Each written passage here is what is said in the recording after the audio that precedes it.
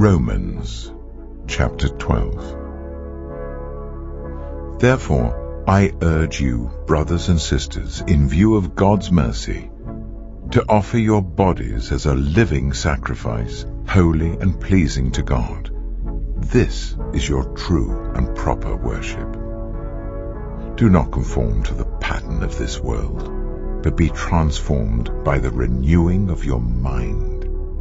Then you will be able to test and approve what God's will is, His good, pleasing, and perfect will.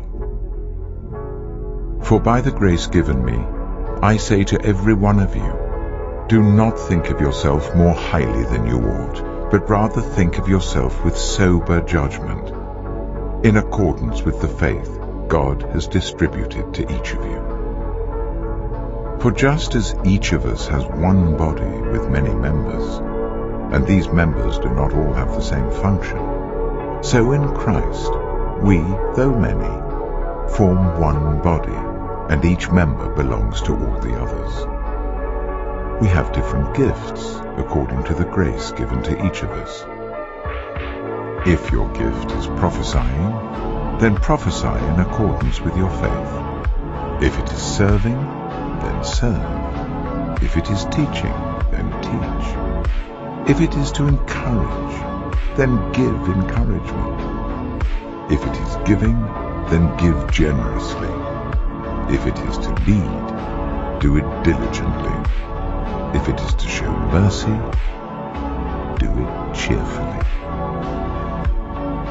Love must be sincere.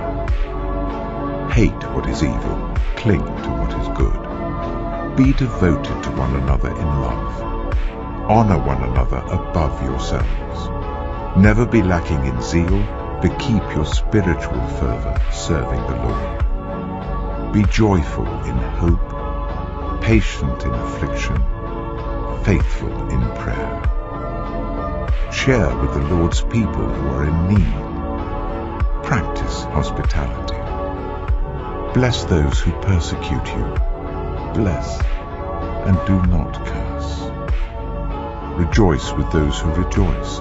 Mourn with those who mourn. Live in harmony with one another. Do not be proud, but be willing to associate with people of low position.